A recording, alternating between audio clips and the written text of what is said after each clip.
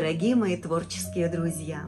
Я снова рада вас приветствовать на канале Творческая студия Олиш Арт. Сегодня праздник, День Святого Валентина, День всех влюбленных. Моя аудитория – это в основном женщины, это любящие создания. Я желаю всем моим абонентам, которые пришли на мой канал, творческих успехов и, конечно же, любви. В День Святого Валентина я хочу вам пожелать не только любви э, такой между мужчинами и женщинами, но я желаю вам также любви к себе, любви к себе как к Творцу, найти Творца в себе и полюбить Его. И хочу вас еще поздравить с одним праздником, который касается нашего канала. Дело в том, что 14 февраля, ровно год назад, на моем канале вышло первое мое видео. И сегодня такой небольшой первый юбилей на моем канале. После того, как вышло мое первое видео, и я стала знакомиться с тем, как работает YouTube, я вдруг открыла, что у YouTube тоже 14 февраля день рождения. Вот такое вот приятное совпадение, дорогие мои творческие друзья. Мне это очень приятно. И еще один праздник, который у меня сегодня на канале. Дело в том, что совсем недавно я обещала посвятить мой мастер-класс моему тысячному подписчику на канале. Вот совсем недавно у меня была-то первая тысяча подписчиков. И я хотела связаться э, с этим абонентом, который стал тысячным, но, к сожалению, у меня не получилось связаться. Так бывает, что тысячный подписчик не оставил после себя никакого комментария, ни лайка, ничего такого, чтобы мне дало возможность связаться э, с этим абонентом. Но все-таки мне пришло сообщение, что зовут Олена Винокурова. И я все-таки решила сдержать мое обещание и посвятить мой мастер-класс моему тысячному подписчику. Конечно, не получилось сделать мастер-класс по выбору моего подписчика, но я подумала и решила свалять такой универсальный, на мой взгляд, аксессуар, который можно назвать, ну, например, пояс кимоно. Когда я его сваляла, получилось, что этот пояс кимоно можно носить не только как пояс, но и как бактус, как шарфик, как повязку на голову, как жилетку. В финале видео вы посмотрите мои варианты, как я придумала, как носить мой аксессуар. Я придумала Хотела бы узнать ваше мнение, понравились ли вам мои варианты и какие варианты возникли еще у вас, дорогие мои подписчики. И сейчас я предлагаю вашему вниманию вот этот мой валяние моего э, аксессуара, который я посвящаю не только Олене Винокуровой, но и всем вам, дорогие мои творческие друзья. За образец я возьму пояс, пальто, можно сказать, это платье, кимоно. Вот такое оно, простое платье-халат, можно сказать. Вот такой вот пояс, очень удобный, хорошо подчеркивает талию, двухсторонний. И потом я еще повторила его вот в таком виде кожаный пояс. Очень удобно, я его добавляю в разные мои луки, это настолько удобно, настолько меняет сразу образ. Теперь я хочу это повторить еще в войлоке и уверена, что я буду пользоваться этим аксессуаром с огромным удовольствием, потому что сам по себе пояс кимоно это супер модная, очень удобная вещь, многофункциональная. И еще войлок, и еще техника витраж – я думаю, что это будет супер здорово. Вот видите, сколько разных лоскутков уже готовых для моей техники, которую я собираюсь использовать, техника витраж. Уже они готовы, так как каждый из них это обрезки уже из каких-то моих других проектов. То есть это самый уже настоящий войлок. Некоторые обрезки или даже вот просто фрагменты вот такие специально были валенные для техники витраж. Некоторые это просто обрезки, остатки из других каких-то проектов, просто кусочки. Но все они уже с определенным каким-то покрытием, где-то вискоза, где-то шелк, где-то другие какие-то декоративные волокна или материалы.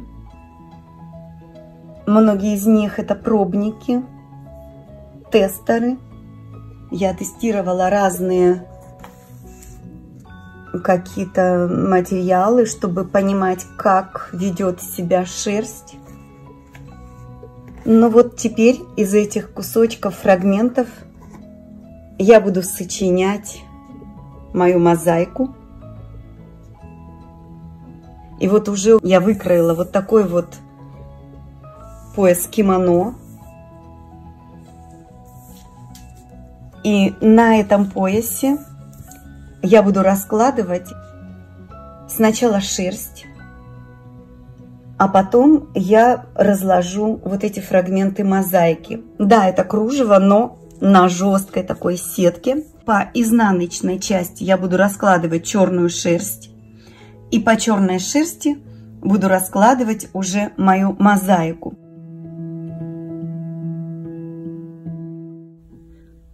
Это мой пояс. Вот такой он у меня будет формы.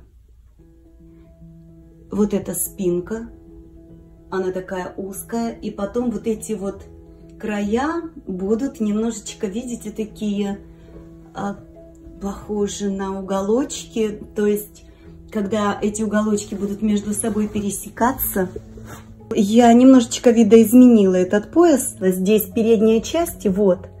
А я его решила сделать наоборот. Вот эти завязочки будут оборачиваться и завязываться вот здесь вот. Потом веревочки я отрежу э, столько, сколько мне нужно. Сейчас я сделала вот такие длинные, а там посмотрю. Я, честно говоря, не работала еще с этим материалом, я его не тестировала. И так примерно предполагаю, что садится шерсть на такой основе будет не так интенсивно, как обычно, потому что материал жесткий, хотя здесь и сетка все равно будет немножечко мешать шерсти стягиваться. И поэтому я не совсем уверена, что вот эти вот завязочки останутся такой же длины, но посмотрим. Я буду работать без шаблона, поскольку шаблон мне здесь не нужен, у меня достаточно плотный материал. Я разложу на стол пленку пищевую и прямо на ней буду делать раскладку. Пояс довольно длинный, я потом при помощи пленки даже смогу просто продолжить работу. Я могу потом завернуть одну часть и переключиться на работу с другой частью. И таким образом у меня будет зафиксированная шерсть и все эти лоскуточки, которые я буду раскладывать. Итак, ждет меня очень интересная работа. Я обожаю такую творческую работу. Сочинять рисунки. Сейчас я вам покажу, какие я для себя сделала размеры. На мой размер М. Вот посмотрите, по талии, вот отсюда у меня и вот сюда это обхват талии. Слегка будут пересекаться, ну, в общем, если это пересечется, это будет симпатично, не пересечется, это тоже будет хорошо. Я посмотрю, как будет вести себя материал но э, в любом случае это будет хорошо. Итак, вот отсюда, сюда у меня 133 сантиметра. Вот отсюда сюда ширина, это по спинке у меня пояса, получается 14 сантиметров. Это я уже называю размеры готового шаблона. То есть э, я вырезала уже ткань, на которой я буду валять это изделие. Теперь вот здесь вот высота вот этих вот уголочков, ну то есть до самого верха 27 сантиметров. Дальше к ним прикрепляются завязочки. Ширина вот этого места, где крепится к основному поясу, 11 сантиметров. А дальше я просто сузила. И длина таких веревочек каждая 140 я взяла, а потом я отрежу так, как мне нужно. Это я могу сделать в любой момент. Вот такие вот размеры я взяла для себя. Я прибавила 45%, как обычно я это делаю. Ну, может быть, это немножечко меньше будет усаживаться, но все равно результат будет очень, э, я думаю, что все равно получится очень красиво. Видите, да, как будет этот пояс. И потом эти хвостики будут заходить с обратной стороны. Они будут э, обвязываться. В общем, эти завязочки будут выходить, оборачиваться вокруг талии.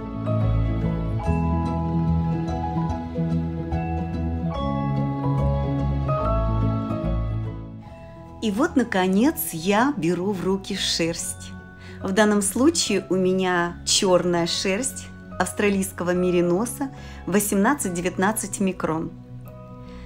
Раскладываю по изнаночной стороне моего кружева, то есть лицом кружева к столу, а ко мне оно лежит изнаночной стороной. Вот на эту сторону я и раскладываю мою шерсть облачками. Слой не очень тонкий, но не очень толстый. Мне нужно добиться такого эффекта, чтобы в результате у меня не проглядывалось кружево сквозь шерсть. И вот я добираюсь до места стывковки двух частей моего кружева. Я беру кружево и накладываю его уже на разложенную шерсть другой части – хорошо проработав место стыковки, то есть внимательно я раскладываю шерсть таким образом, чтобы пасмочки пересекали и одну, и вторую часть. Потом я накрываю всю раскладку сеткой, сбрызгиваю водичкой и выдавливаю воду, э, распределяю воду таким образом, чтобы пузырьки воздуха вышли из шерсти поправила шерсть и начинаю раскладывать мои заготовленные лоскутки. Слежу за тем, чтобы между лоскутками хорошо проглядывало черное пространство. Это и есть э, эффект витража который потом получится, когда шерсть сядется, между моими лоскуточками должно оставаться черное пространство. Затем я по такой же технологии, как обычно при валянии, накрываю сеткой, смачиваю, э, забочусь о том, чтобы вода проникла во все вот эти валенные кусочки шерсти. Поскольку они уже хорошо сваленные, нужно постараться, чтобы вода таких хорошенечко-хорошенечко намочила мои вот эти вот витражные кусочки. Когда я все это сделала, я снимаю сетку и еще э, стараюсь, э, работаю над тем, чтобы шерсть таки промокла. Я заворачиваю в пленку мое изделие и оставляю на некоторое время, чтобы лоскутки таки пропитались водой. Лучше, конечно, если вы уже знаете рисунок заблаговременно, если у вас уже разрезаны те лоскутки, которые вы будете класть, вы уже знаете в каком порядке, то тогда лучше вот эти вот все ваши заготовленные лоскутки намочить в воде и подержать некоторое время, чтобы они напитались. Но поскольку у меня такая импровизационная раскладка, я этого не делаю, тогда я должна позаботиться о том, чтобы мои э, шерстяные лоскутки хорошенечко пропитались. Ну, когда я все это уже закончила, я раскладываю всю остальную часть пояса. То есть ремешочки, все закладываю шерстью.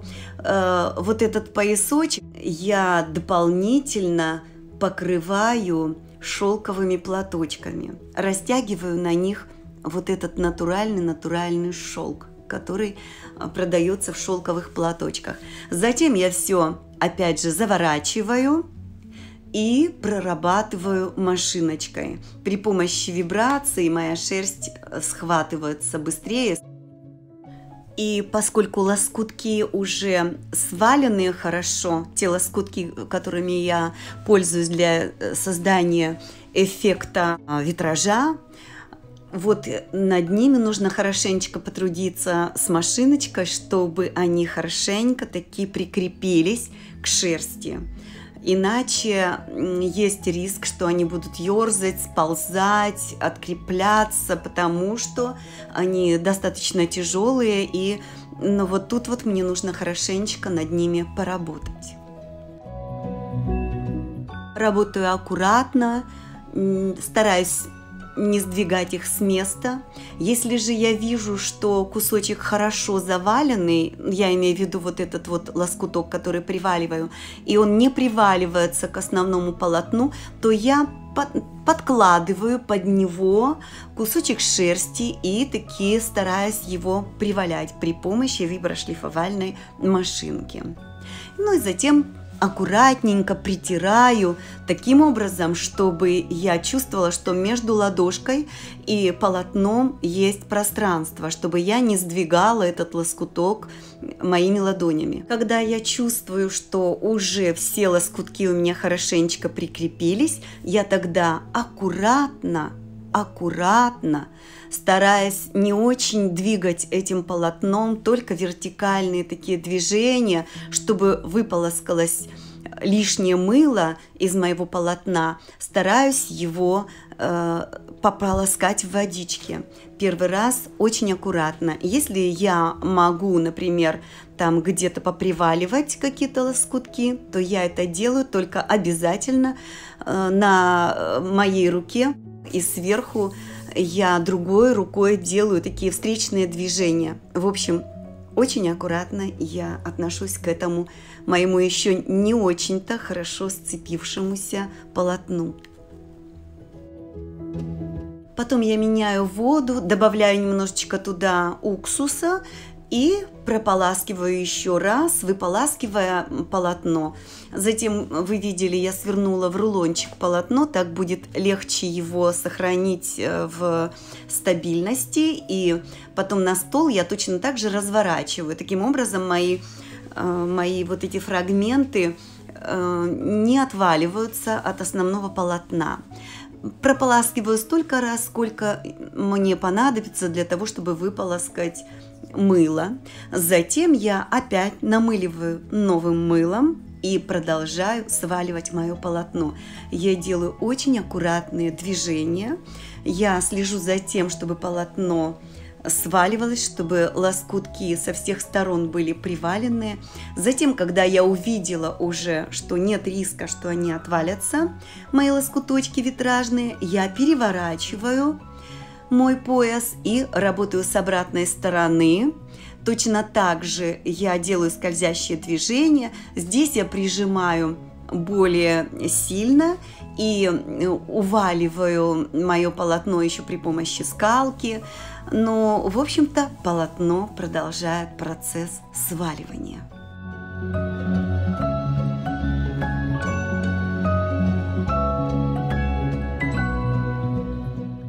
Мой пояс начинает уменьшаться в размерах. Я вижу, что уже полотно стало таким более монолитным, и тогда мои движения становятся более смелыми. Я уже могу скользить даже вот этими моими витражными лоскутками по столу. Таким образом, они еще больше фиксируются, потому что они скользят по пупырышкам и сваливаются еще лучше, становятся более монолитным полотном. Я точно так же прорабатываю скалочкой, они больше уваливаются, и мое полотно становится все меньше и меньше, процесс сваливания продолжается. Наступил такой момент, когда я уже смогу смело поработать в водичке с моим полотном. Я его сваливаю еще и в воде. Я переминаю между собой уже основное полотно и лоскутки. Затем вынимаю, намыливаю и работаю с массажным валиком. Очень люблю я этот инструмент. Он просто смешивает мельчайшие волокна шерсти между собой, заваливает края, шерсть э, перемешивается между собой, и получается очень-очень такой нежный, очень хороший эффект.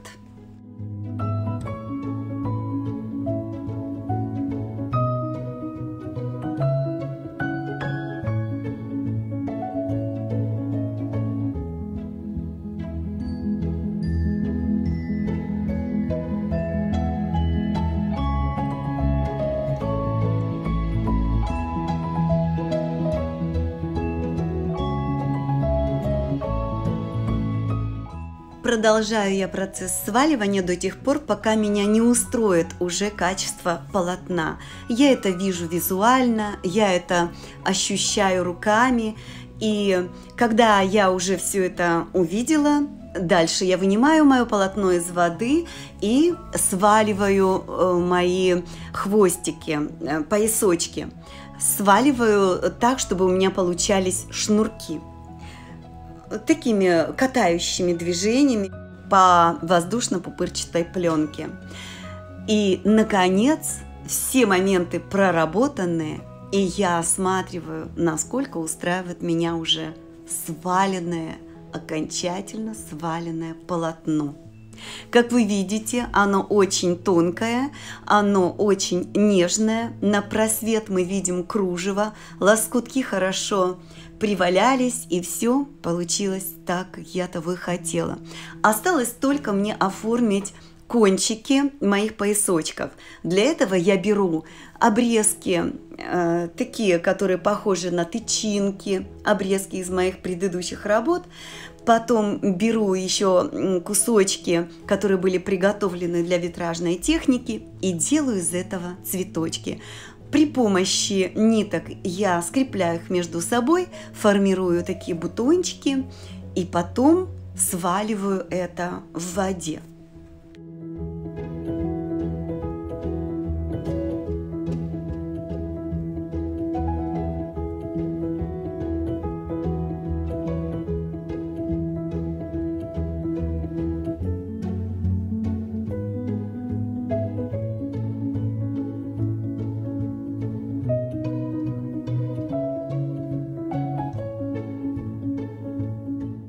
Одновременно с цветочками я еще в воде доваливаю пояс, чтобы он приобрел такую э, форму шнура.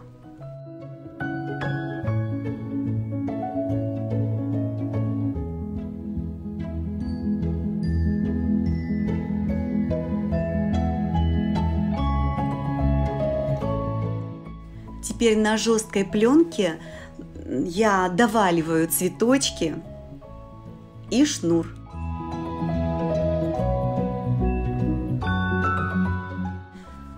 И вот моя работа завершена. И я могу полюбоваться результатом. Надеюсь, вам тоже понравился результат моей работы. Если это так, вы напишите мне, пожалуйста, в ваших комментариях и э, напишите, пожалуйста, какие из вариантов э, ношения этого пояса, этого бактуса, этого аксессуара вам понравились. И, может быть, у вас есть какие-то свои предложения, как бы вы хотели, например, приспособить это изделие. И не забывайте ставить лайки, не забывайте нажимать на колокольчик. Таким образом вы будете видеть, когда выходят мои видео. И до новых встреч на моем канале Творческая студия Олиш Арт дорогие мои творческие друзья. thank you